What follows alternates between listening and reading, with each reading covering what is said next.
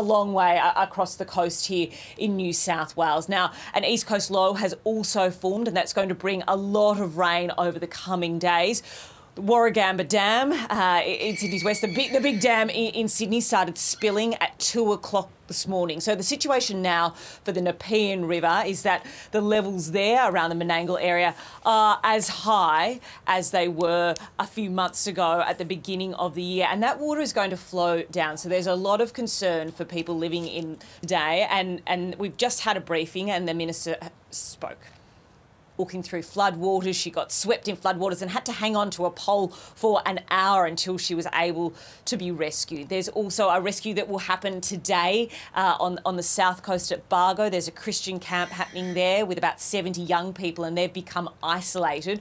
So the SES are going to have to send in some boats and vessels to, to rescue those people. Uh, also, there's been, because of, of the Wollongong area, so the SES have said today it's been a very busy night for them them.